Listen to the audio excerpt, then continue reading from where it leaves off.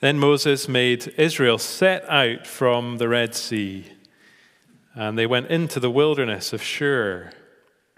They went three days in the wilderness and found no water. When they came to Marah, they could not drink the water of Marah because it was bitter. Therefore, it was named Marah, and the people grumbled against Moses, saying, What shall we drink? And he cried to the Lord, and the Lord showed him a log, and he threw it into the water, and the water became sweet. There the Lord made for them a statute and a rule, and there he tested them, saying, If you will diligently listen to the voice of the Lord your God, and do that which is right in his eyes, and give ears to his commandments, and keep all his statutes, I will put none of the diseases on you that I put on the Egyptians, for I am the Lord, your healer. Then they came to Elim, where there were 12 springs of water and 70 palm trees, and they encamped there by the water. Amen. This is God's word to us this evening. Well, let's pray as we come to God's word.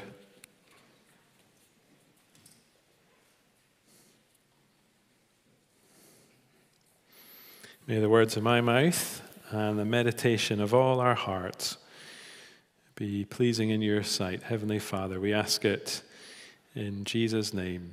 Amen. Well, uh, some of you are probably too young to remember this, and um, I'm going to be 40 soon, so I'm going to have to get used to saying that. But uh, in the 1990s, there was uh, one character on TV who was what we could call him the personification of grumpiness. And the show was One Foot in the Grave, and his name was Victor Meldrew. Now, I'm not going to do his voice, but he had a catchphrase uh, lots of you will know it. I, I don't believe it. I don't believe it.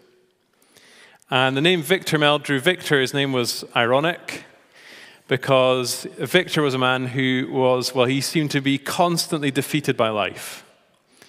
And everything always seemed to go wrong, and animals and children and next door neighbors, uh, everybody seemed to, to cause him endless frustration. Well, in these verses, God's people are, are they're a bit like Victor Meldrew, they're grumbling. And while you and I often think of grumbling as uh, something funny, uh, the Bible makes really clear it's serious. And actually, in Exodus, in uh, the end of chapter 15, and in chapter 16, and in chapter 17, we are going to hear a lot of grumbling. Uh, the Bible takes it really seriously. C.S. Lewis uh, once put it like this He said, Hell begins with a grumbling mood. Hell begins with a grumbling mood. And tonight we need to face up to uh, grumbling.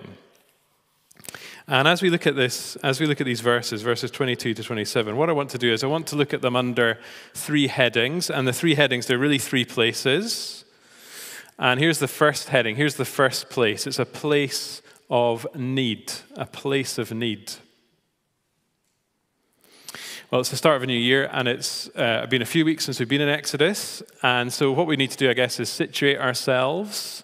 And if you can remember, the first 14, first 15 chapters of Exodus, they're all about how God gets his people out of Egypt. And it's a story full of drama.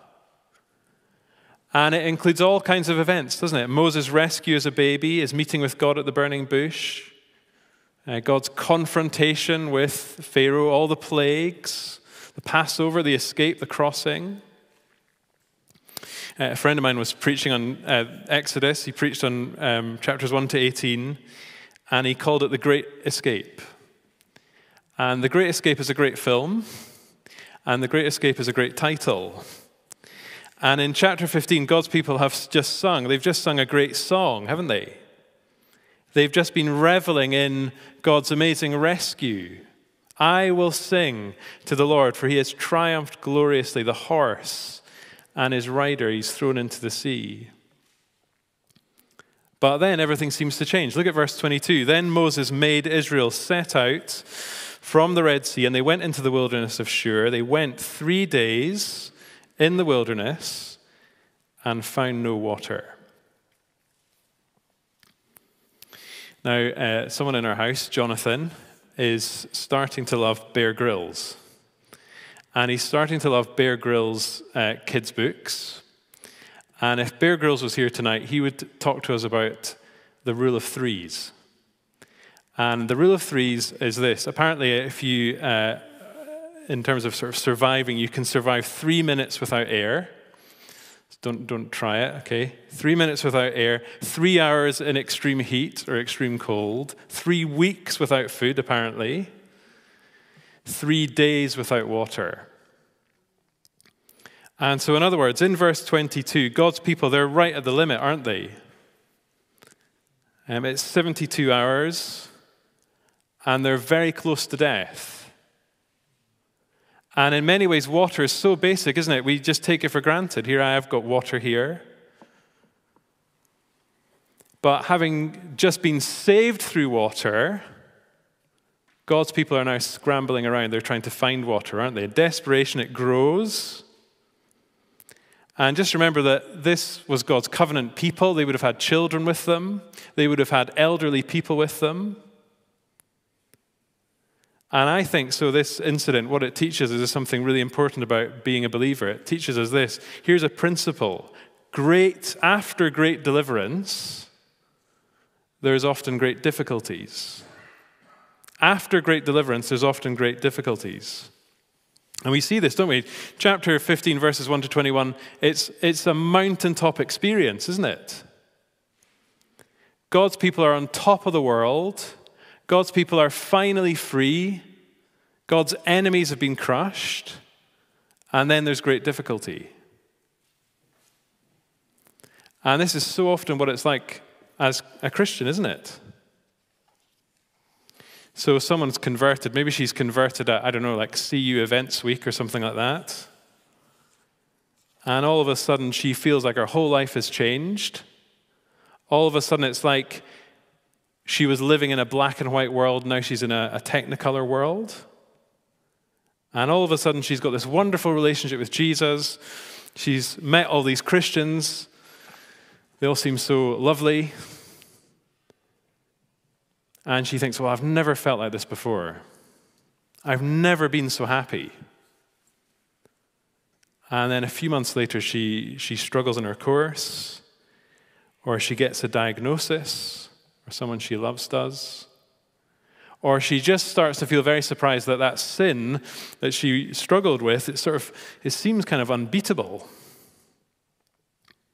After great deliverance, often comes great difficulty. And the Christian life, it's a life of highs, isn't it? And yet it's also a life of great lows. It's a pilgrimage, it's a battle, it's a fight, it is a struggle. And you and I, we need to remember that. There is false teaching around, isn't there, that would tell us otherwise. And we need to reject it. So, in a sense, what we have here is a picture of the Christian's experience.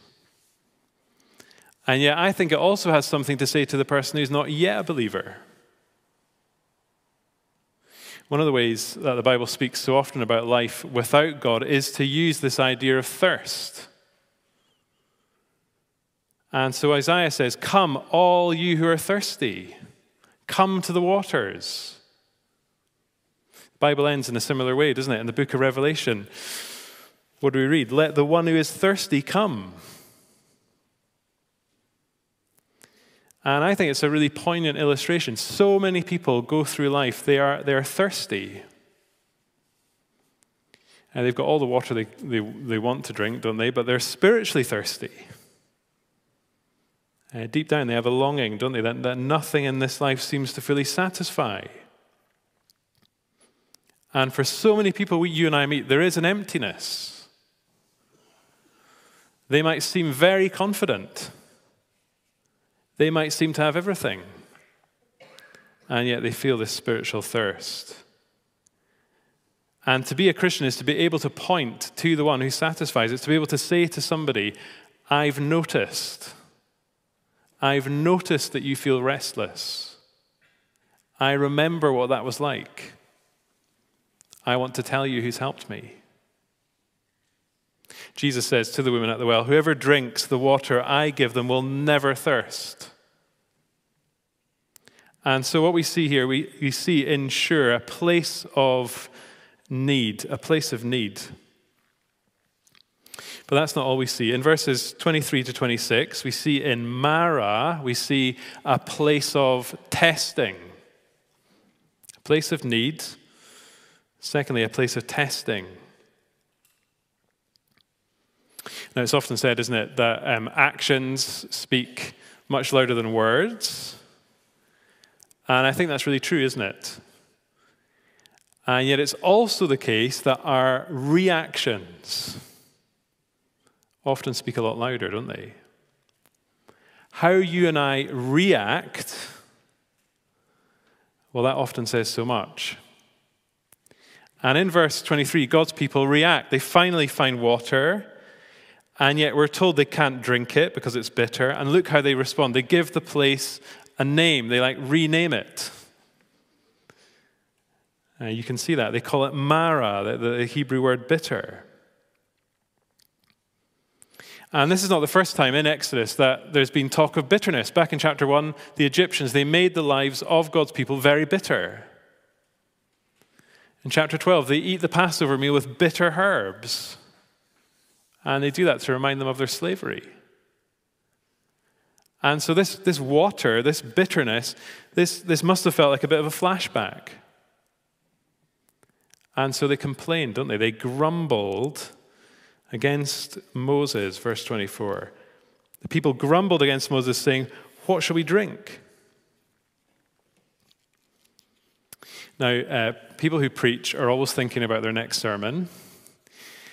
Uh, and last Sunday evening, I was chatting to Kieran Kelleher about this passage. And uh, at the end of the service, and uh, Kieran, if you don't know him, he's a minister in Montrose, and he, he said something I found really helpful. He said, he said, There's a difference in the Bible between groaning and grumbling. There's a difference in the Bible between groaning and grumbling. And I said I'd quote him tonight. Okay, so there we go. Grumbling is not the same as lamenting. Grumbling is not the same as a believer calling out sin or making a legitimate complaint. God's no to grumbling. It doesn't mean we say yes to becoming a doormat. It doesn't mean we, we never push back against something another Christian or another Christian leader says. It does not mean we keep our mouth shut. Grumbling does not mean we never ask questions. And grumbling is not the same as wrestling with God or begging God to change a really difficult situation. But grumbling against other people, grumbling against God, is really serious. I mentioned reactions. Moses' reaction, I think it's a really good one. Look what he does. He doesn't moan back at the people. No, instead, he, he, he's, he's despised, he, he's rejected, he's just like Jesus. And yet, just like Jesus in Hebrews 5, he cries out to God. And that's the right response, isn't it? If we're, if we're unfairly criticized, bring it to God, leave it with God, wait for God. And the answer comes in the middle of the verse bitter water is made sweet. But maybe tonight uh, you have sympathy for the Israelites.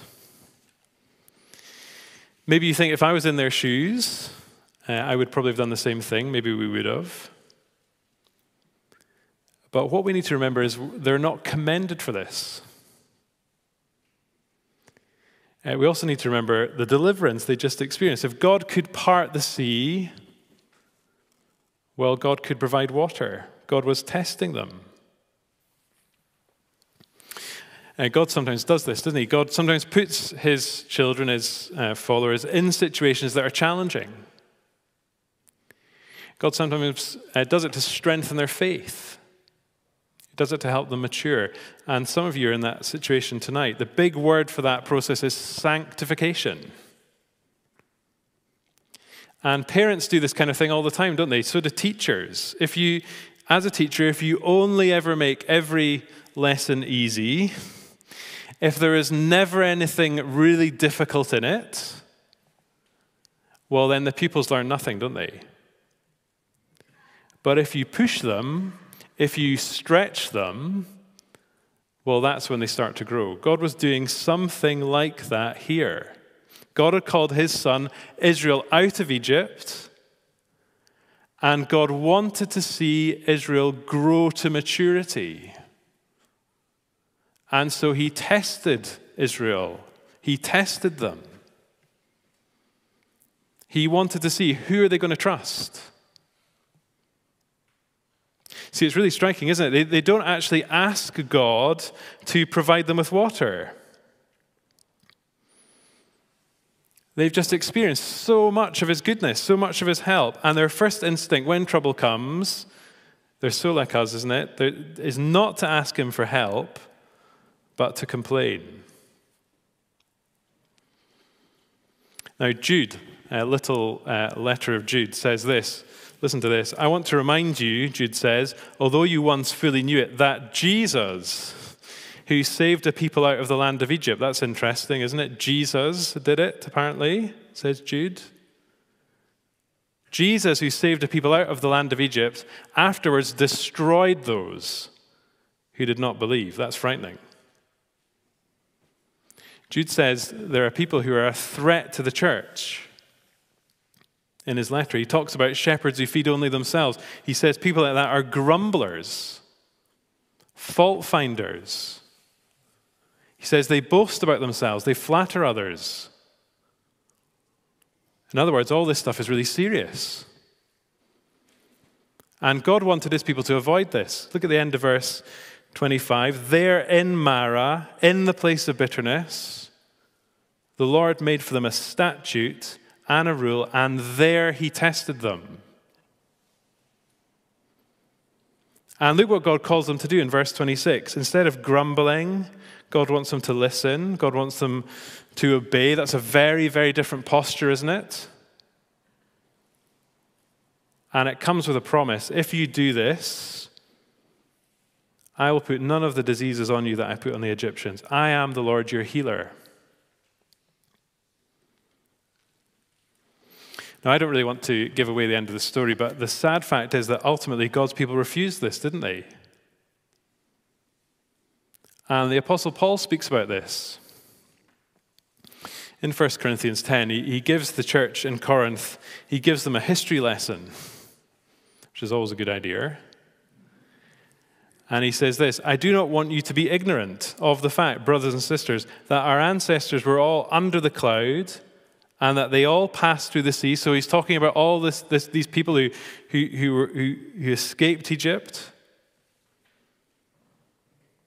And yet, as he goes on to say, almost all of them behaved in a way that was not pleasing to the Lord. They were judged. And then he says this these things occurred as examples to us, they were written down as warnings to us.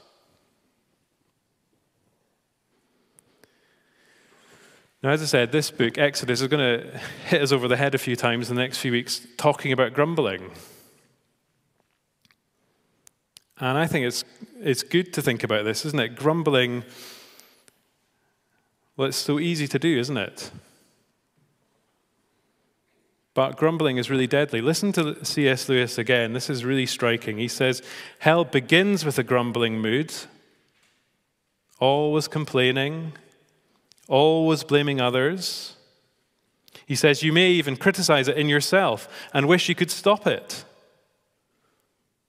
But there may come a day when you can no longer. Then there'll be no you left to criticize the mood or even to enjoy it. We love to grumble, don't we, sometimes? But just the grumble itself, Lewis says, just the grumble itself going on forever like a machine. See, grumbling can take you somewhere. Grumbling can take you to hell. And if God is testing you this evening, if God is challenging you about grumbling, well, rejoice. Because God is treating you like one of his own. And this passage, it calls us not to let bitterness, not to let grumbling get a hold of us. So, three places a place of need, a place of testing. There's a third place, a place of abundance. A place of abundance. Uh, in the final verse of this uh, chapter, verse 27, um, this, this verse, it reminds us that God is a God of reversals. Then they came to Elim, where there were 12 springs of water and 70 palm trees, and they encamped there by the water. Now, when I was um, preparing that, uh, that verse, it reminded me of Psalm 23. He leads me beside still waters, He restores my soul. Because here's a God who provides a spring. Uh, here's a God who provides a spring in the desert. Uh, here's a God who gives his people who are thirsty more than they could ask, more than they could imagine. It was a resting, a restful place. It was a lovely place. And we could probably read too much into the numbers, or we could probably also read too little into the numbers. 12 and uh, 70, they're numbers we often think about, don't we, in the Bible as kind of, uh, I don't know, like capturing perfection or, or sort of wholeness. This is, this is the perfect place for a weary people to find rest on their pilgrimage. And God is like that. God is a God who gives rest, refreshment to his people.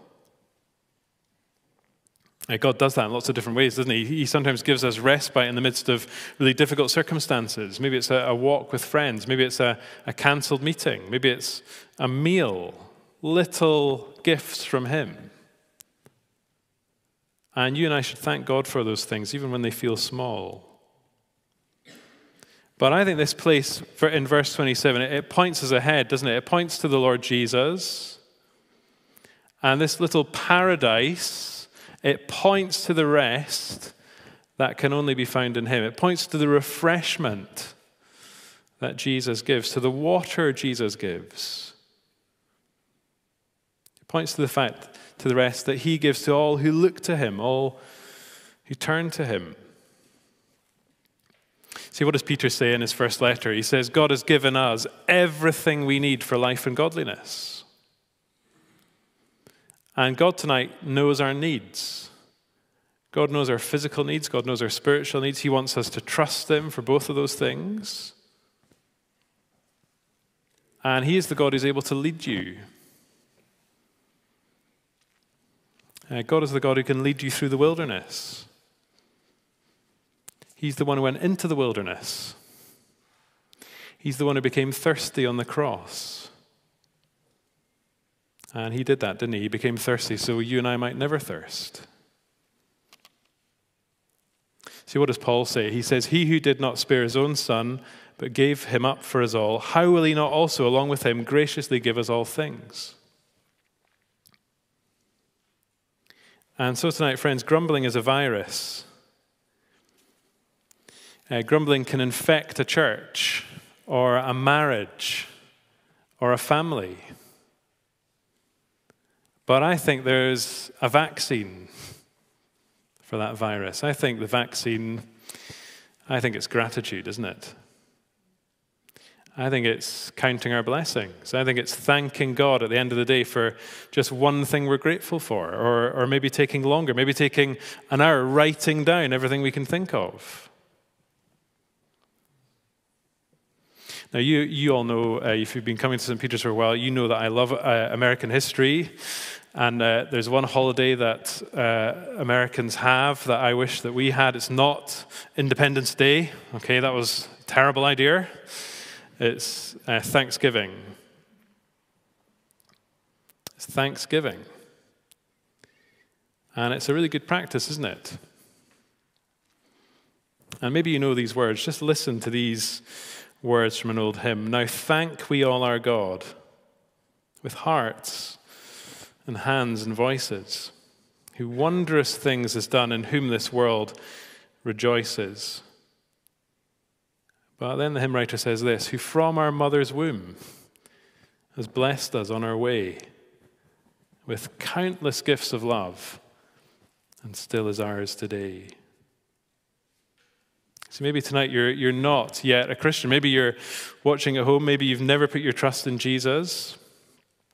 Maybe you're looking for satisfaction and yet you're, you've not found it. You're looking for satisfaction in all the wrong places. Well, if that's you tonight, you're in good company.